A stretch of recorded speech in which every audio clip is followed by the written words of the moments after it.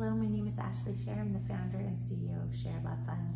Today we're going to explore chapter 13, verse 2 of the Bhagavad Gita. Chapter 13, verse 2 reads as follows And Arjuna, understand this I am the knower of the field in everyone. To distinguish between the field and its knower is what is true knowledge. So, here in chapter 2, the chapter is titled Of the Field and Its Knower.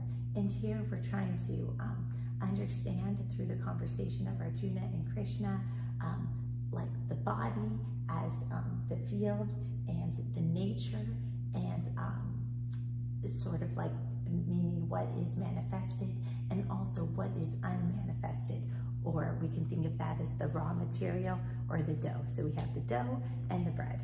Namaste.